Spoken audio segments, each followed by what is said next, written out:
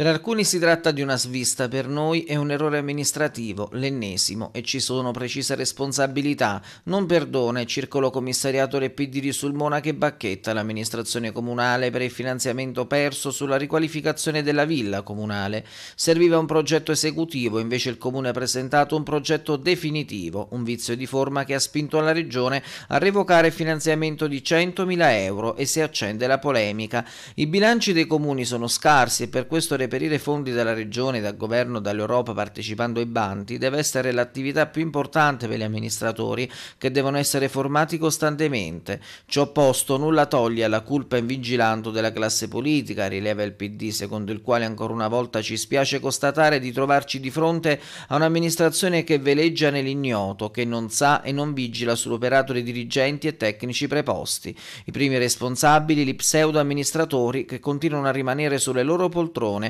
dimostrando di non avere un minimo di dignità e di responsabilità per l'istituzione, che come rappresentanti dovrebbero onorare con il loro lavoro onestà e risultati, responsabilità che dovrebbe portarli alle dimissioni per i continui fallimenti a danno della comunità. Poi il PD passa dalla protesta alla proposta, chiedendo alla giunta comunale di utilizzare i 75.000 euro della Carispac e i 25.000 euro stanziati dal comune per una manutenzione straordinaria che si limiti al patrimonio arboreo ad opera di una ditta altamente altamente qualificata, perché l'investimento nella manutenzione delle aree verdi è fondamentale per l'immagine della città e per la tutela della salute dei cittadini.